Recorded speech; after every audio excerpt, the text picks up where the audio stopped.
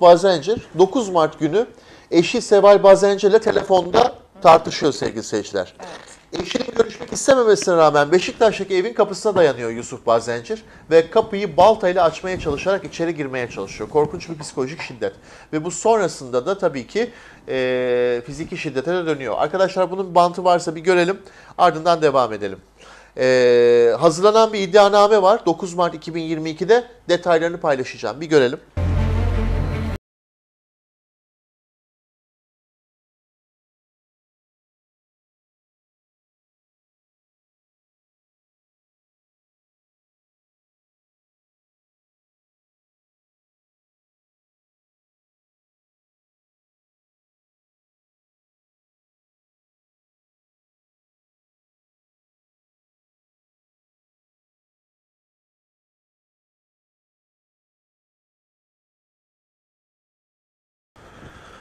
Evet kıymetli izleyicilerimiz, sevgili takipçilerimiz Mahsun Kırmızıgül'ün eşine saldıran kardeşi için 5 yıla kadar hapsi isteniyor. Hakikaten Evet. eee, boşanmalarda vesairelerde eee, ya da karı koca ilişkileri içerisinde bu kadar hem psikolojik hem fiziki şiddetin ön planda olmasını hala bu yıllarda bunu konuşuyor olmayı eee, ben gerçekten az önceki konuyu tercih ederim. Hakikaten bunları konuşuyor olmaktan ben çok utanıyorum. Eee, sizler neler söylersiniz? Tay Tayyar'ım sen bir ilk başta başla.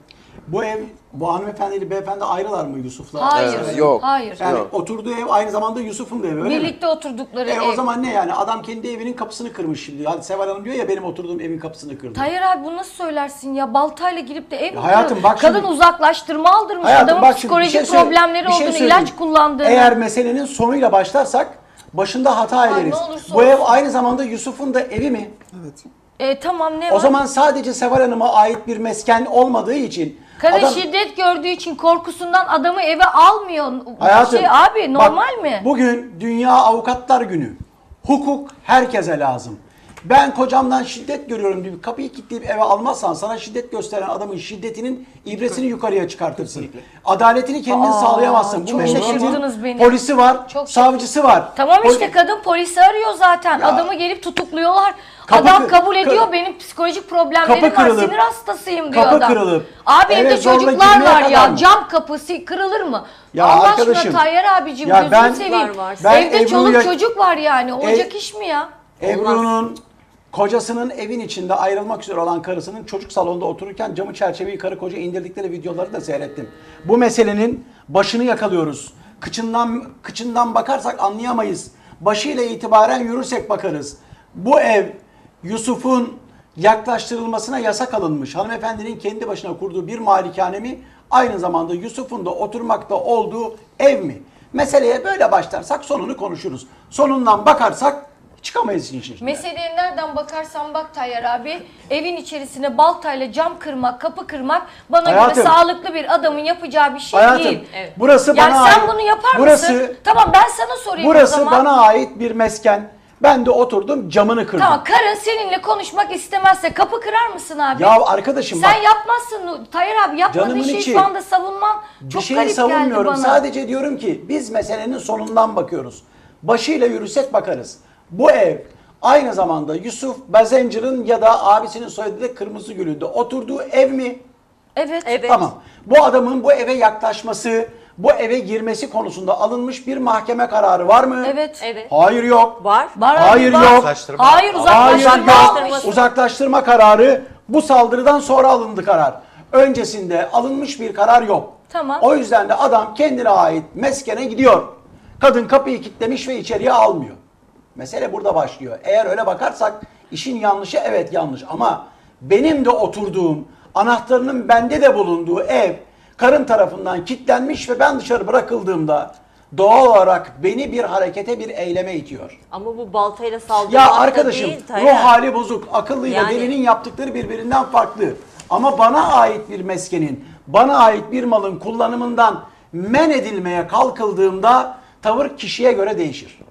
Yani biz adamın yaptığı eylem üzerinden gidersek evet eylem yanlış. Ama kimle yanlış? O ev bu adamın da evi. Bir şey söyleyeyim mi sana? Bu ülkedeki en büyük sorun bazı kadınların e, kıskançlık yaşadıkları zaman eşleri için beni çok seviyor ondan yapıyor. Adamlar kıskançlık gösterip kıyafetiyle, oturmasıyla, kalkmasıyla kadınları eleştirdiği zaman etrafındaki kadınlar şöyle diyor. E, evet diyor biraz kızdı, küfür etti, şiddet yaptı, sesini yükseldi, psikolojik ama sevdiğinden yapıyor. Niye? Beni çok kıskanıyor. Şimdi bu neye benziyor biliyor musunuz? Hani erkeklerin yapmış olduğu fevri davranışların altına bir kılıf bulmakla. E neymiş efendim? O ev onun da oturduğu evmiş. E adam eve gidecek. Camı çerçeveyi indirecek. Kapıları baltalarla saldıracak. E biz bunu da normal karşılayacağız. Hayatım. Niye? Çünkü o adamın oturduğu ev diye. Bir şey vardır. Gidersin. Kadın görüşmek istemiyor mu seninle? E, evliliğinde sorun mu yaşıyorsun? O evin içinde iki tane çocuğun mu var ya da üç tane her neyse. Bunun hukuk anlamında halledersin. Çözemiyorsan kadın şirret olabilir, kadın kötü olabilir, kadın seni rezil do ediyor olabilir. Ne olursa olsun iki çocuğunun hatırına ben olsam beyefendinin yerinde hukuk olarak bu işi çözmeye çalışırdım. Ama gidip de cam kapı indirmek bana göre Hayatım, şu yüzyılda en korktuğumuz şey. Olaylar o noktaya geldiğinde burada konuştuğumuz gibi olmuyor. Davulun sesi uzaktan hoş geliyor.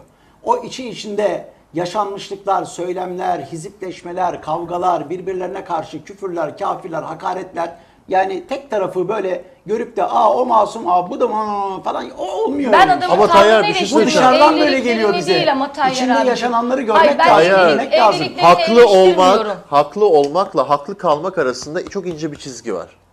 Belki adam haklı ama haklı kalamıyor. Ya işte hayatım Yani- olmuyor ama işte yani içindeki yürüyüş insanların o raddeye bunu sadece erkek açısından almıyorum. Kadınların da travmayı üst seviyeye getirdikleri, çıldırdıkları, evi barkı yıkıp parçaladıkları, kırıp döktükleri noktalar var. Abi sinirlenirsin kapıya tekme atarsın bunu anlayabilirim Ya bak ama sen bulunduğun Yani- yerden baltayı alıp kapıya dayanıyorsan Bu arada da bu beyefendi çok acayip bir şey. İlacımı almadığım için bu Ee, davranışı yaptım. Ben ee, düzenli. E, e diyoruz ee, abi kadın da kapıya geldiğinde ee, Allah bilir. korkmuştur, Adamın nasıl bir ruh halini görüp demiştir ki bu Arkadaşlar bir ilacını dakika. almadı. Ya Seni elime kadın geçirirsem kadın zaten geberteceğim. kocasının Yani. ruh halini biliyor. Yani bu O adam yüzden almamış olabilir mi? ilaçlarla- Evet. ya hayatım bak alıp almamasında değilim. Meselenin başını ve sonunu iyi bilmediğimiz noktada içini yani finali konuşmamız yok. Başı itibariyle söylüyorum. Benim kocam ruh hastası.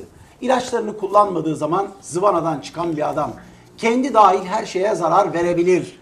O yüzden bu adamın ruh hali normal değilse, bu adamın üstüne kapı kitlemek, bu adamı evden kovmaya çalışmak normal hamleler değil. Yapacağın ibreler o değil. O Adam zaman yapar. kocasını tanıyordur Bak, belki de yani. İşte tamam ben de diyorum ki sana ben hastamı tanıyorsam tedavisini böyle yapamam. Anladın mı? Yani bu burada izlenen Tayyar bu kadın kendini nasıl kurtaracak Ya Tayyar Allah abi, aşkına Allah yani aşkına hukuk sürekli- bir anda şey yapmıyor ki bu Arkadaş, kadın o ana Psikolojik kadar canımın sorunu içi. olan sinir hastası bir Arkadaşlar adamla ömür nasıl cep geçer ya? telefonunuza Sürekli kadına... indirdiğiniz KADES diye bir uygulama var. Hanımefendiler, kocanız, sevgiliniz ya da hiç tanımadığınız bir adam tuşuna bastığınızda dakikalar sonra polis ekipleri kapınıza geliyorlar. Aman Tayyar abi. Ha, geliyor ne oluyor? Bir saat sonra da bırakıyorlar. kadın, Cinayete kurban giden, sokak ortasında öldürülen 3. sayfa haberlerindeki kadınlar çıkıp Ee? isyan edip uzaklaştırma alıyorlar. Ee, Başak- adamlar dinlemiyor. Ee, Başak'cığım? abi sen de diyorsun ki kader var, o var, Kader. bu var. Hiçbir işe de yaramıyor abi. Kadınlar E, öldürüldüklerinde? Ya aileler gidiyor polislere Ya- karakollarda dosya çıkarıyor. Kaç şey kere uyarı aldı diye. Hiç alakası İsmail, Uzaklaştırma da sen. kodese de kapatsalar bu adam psikolojik rahatsız mı rahatsız? Bu da hemfikiriz. Bu adama ne yaparsan yap burası almıyor. O yüzden karısı buna huyuna da gitse, suyuna da gitse, canım da dese, cim dese bu adam basmıyor. Bir şeye odaklandı mı Şiddeti. ona itaat Ha, ne yapacak? İsmail, yapacak? Ki yatacak, psikolojik ölecek. İlaçlar İsmail'cim olmaz boşanma İşte- davası açılmamış. Adamın psikolojik problemleri var. Adam bu belki de ilaç yasaklı madde alıyor. ya bilemeyiz o kadarını. Ama psikolojik problemleri var. Yani bilmediğim bir konuda bundan dolayı budur diyemediğim için ama benim ilaçlarım var bunu kullanmadığımda kontrolden çıkıyorum diyen kendisi olduğu için psikolojik hasta olarak tercih yapıyorum. Şimdi ben elimdeki durumu biliyorum. Karımın durumu bu.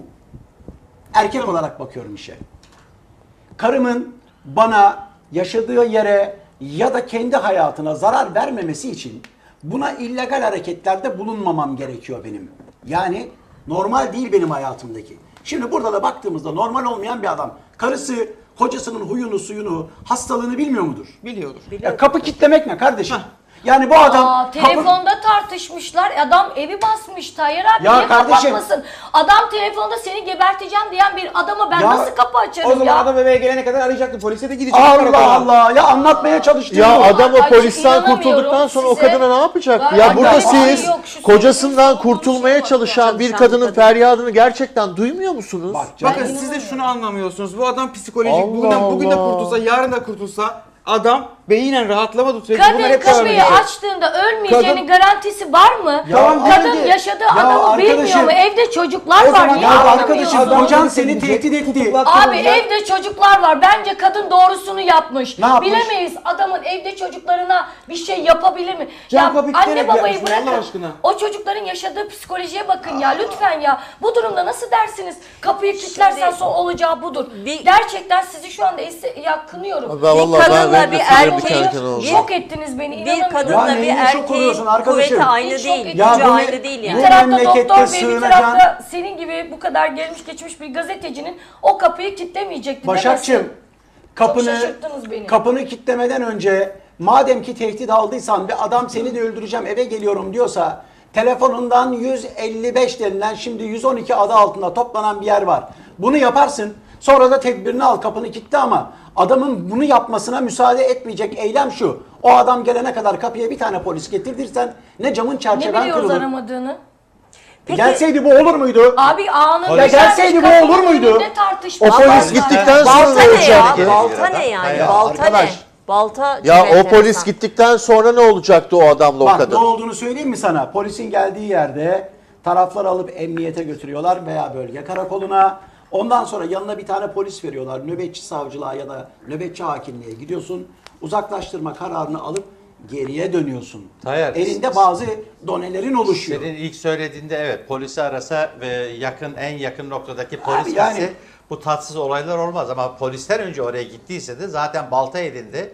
Kadın da önlem olarak o kapıyı Ya bir şey söyleyeyim abi. Bu balta meselesine gelmeden bir gece önce bu adam bu evin içinde değil miydi?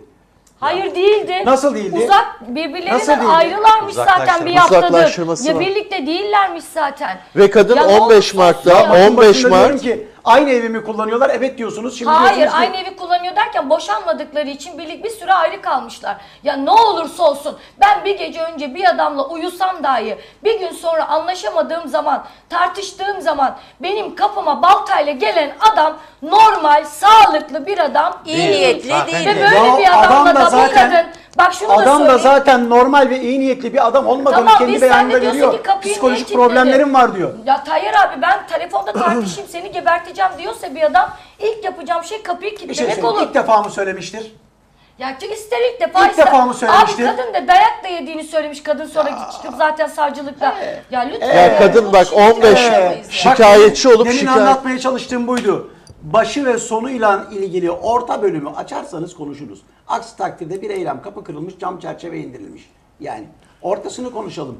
Daha önce dayak yemiş, problemleri olmuş, bilmem ne olmuş. Bir türlü birbirlerinden kopamamışlar. Hastalıklı, sağlıksız bir ilişki ta bu cam çerçeve kırılana kadar yürümüş gelmiş. Kocamdır düzelir, beyimdir yapar. Yarın kendine gelir. O olursa bu olur. Bundan Kadın bir tehlike istemiş ki yorumunu kapatmış, yani yor- kitlemiş Hayır yani yorumu insan. şöyle. Bunları yaşadıktan sonra hiçbir şey olmamış gibi bir şey yaşayıp hanımefendi tekrarlıyorsa kendisini o o zaman tartışılacak O zaman şey. ne tartışılacak? Ama Beyanları baltayla eve anlatıyorsunuz gelen tek bir adamı kadın da kapısını kilitledi diye eleştiremeyiz. Ya kadını Böyle bir şey eleştirmiyorum hayatım. Sadece içindeki durumun neti şu.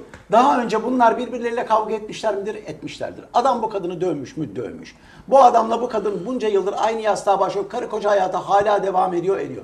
Boşanmışlar mı? Hayır. E e Yani bi- ben de Ee, şeye yani? karşıyım.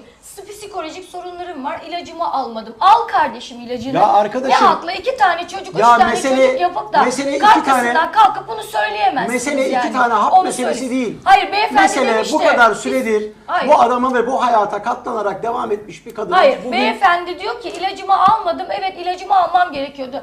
Kimse beyefendi izliyorsa yakın dostları, akrabası kim Tamam, varsa hanımefendi- beyefendi lütfen ilacınızı bir defa eşinizle boşanabilirsiniz. Ama çocuklarınızla boşanamazsınız. O çocukların ömür boyu hayatında örnek alacakları bir baba ve sizin bu çocuklar üzerinde yaptığınız travmalar yüzünden sağlıksız birey, sağlıksız toplumu yaratıyor. Bu çocuklar gelecekte her türlü sapkınlık, şiddet, sizde ne görüyorsa yarın bunlar da kız arkadaşına, karısına ya da kocasına ya Olacak kocasının çocuğuna. karşısında ezik olacak ya karısının karşısında şiddet uygulayan bir adam olacak. O yüzden çocuk doğururken psikolojik probleminiz varsa birbirinizi Doğurmayın. yiyin. Ne yaparsanız yapın ama çocuk doğurmayın. keşke Başar, şu çocukları çocuk- Yazık daha günah. fazla Kanunen bir uzatmadan şeye sadece bağlansa. haberin son metnini okuyacağım. Ondan sonra hem cinslerinizi burada sabaha kadar konuşursunuz. Hazırlanan iddianamede şüphelinin kapıyı açmaya çalıştığı sırada müşteki Seval Bazencer'a hitaben seni elime geçirirsem geberteceğim şeklinde tehditte bulunduğu, müştekinin olayla ilgili olarak şikayetçi olmasının üzerine soruşturma başlatıldığı, akabinde 15 Mart 2022 tarihinde müşteki Savel Bajender'ın şikayetinden Biliyorum. vazgeçti. Ne Biliyorum, konuşuyoruz? bilemezsin abi. Ne Hayır, konuşuyoruz hayır, abi? Boş ver. hayır, Hayır, hadi. bilemezsin. Hadi Ya geçelim kadın, konuya. kadının bir şey Korkun. söyleyeceğim. Abi, Şikayetinden hadi. geri çek. Konuşup da geri Aa. çıktı. Niye Hayır abi, şikayetinden ortaya bir şey vazgeçmiş? atın. Kork- Tehdit alıyordur, Nurettin korkutmuştur. abi daha önce dayak yemiş vazgeçmiş. Daha hangi korku ya? Ya korkuyu Ya korku bundan daha iyi dağları korku bekler abi. mu Hangi korku? Olur mu? Ya bundan, daha önce dayak korku yemiş mu? bu kadın. Bundan önce bu evliliğin içinde zulüm Hayır, varsa kadını bırak ben seninle aynı evi paylaşıyoruz. Baltayla geleyim sen Ya aynı korkuyu Nurettin abi yaşarsın. mesele balta meselesi değil. E, balta. Mesele bir kadın ve bir adamın evlilikleri içinde arıza yeni değil. Ve kadın yıllardır bu arızaya kocamdır yapar bugün geçer yarın geçer göz yumuş buraya kadar gelmiş. Ya niye kadın Ya göz bilemezsin yumuyor Tayyip buna? abi. Mevcut duruma katlanmayacaksın. Hayır abi Mevcut evde durumu miydin sen sürüncemeye nereden bırakmayacaksın. Sen na- nasıl Kadın nereden belki biliyorsun zorla bu kadının konunun sustu? içinde. Diyorsun ki kabullendi. Burada kadın vazgeçtiyse sence Vay. böyle bir adamla Vazgeçtiğinde kork- ne oluyor biliyor musun? Biliyorum abi ama Ee? Türkiye'de birçok kadın Ee? arkasında kimse olmadığı Ee? için, korunmadığı için vazgeçip susuyor. Maalesef sanki bir ilk defa Ya yaşıyoruz ben de diyorum ya. ki sana mesele yeni değil evliliklerin Abi içinde. tamam Her haklısın da defasında kadının kadın adamı şikayetinden vazgeçti affederek diye zaten burada haklı tırmandırmış. çıkaramazsın Bir kere ya. iki kere değil ki. Karşındaki adam sağlıklı bir adam değil. Daha önce de bir sürü eylem gerçekleştirmiş ve sen her eyleminde bu adamı affederek zaten yüz vermişsin bu adama. Son olayda da şikayetçi olmuşsun. Bir gün sonra gidip şikayetinden vazgeçmişsin. Ya da vazgeçirildi. Ne yapacağım? Ben mi gidip koruyacağım Seval'i evinde? İlaç kullanıyorsa bu beyefendinin hastaneye yatıp tedavi E olması ona da ben gerekiyor. karar vermeyeceğim. Net. Karısının affettiği bir adama git hastanede tedavi ol demek bana mı düşmüş? Ben de diyorum ki karısı Allah için değil Allah. sadece toplum için de zararlı bir Peki adam bir şey bu. söyleyeceğim Tayyar. Gerçekten bu kadın bir şeyleri yaşamak ve katlanmak mecburiyetinde kaldıysa, çocuğuyla tehdit edildiyse, canıyla tehdit edildiyse, yıllardır o dört duvarın arasında eziyet çekiyorsa, onun şu an girdiğin kul hakkından Bu- nasıl bu- çıkacaksın ya? Bu, bu söylediğin bu söylediğin mevzular gerçekleşmişse 15 Mart 2022 tarihinde affetme meselesi, şikayeti geri alma meselesi olmayacak. Beynine silah ediyor. Ya yapma Allah Yok, aşkına. öyle Şimdi iyice şeye döndürdün işi. seviyor da olabilir silah- kocasını Ya ya. adam zaten Yani yapmış kapıyı da baltayla kırmış. Daha hangi silahtan bahsediyorsun? Yani Kadın erkek- erkekler- İçindeki, çarkın ne kadar bozuk olduğunu anlatıyorum. Bazı kadınlar ve bazı adamlar hastalıklı ruh haliyle yaşamayı yaşam biçimi haline getiriyorlar. Bir kere affetmek ayrı mesele ama defaten gerçekleşmiş dövmekten küfür etmeye, alıp, alıp vermekten atıp tutmaya, en son kapı çerçeve Şimdi kırmaya bu- kadar mesele gelmiş. Final 15 Mart tarihinde davadan vazgeçmiş. Valla davul Ee, uzaktan hoş Hadi, geliyor. Değiştirelim bu konuyu.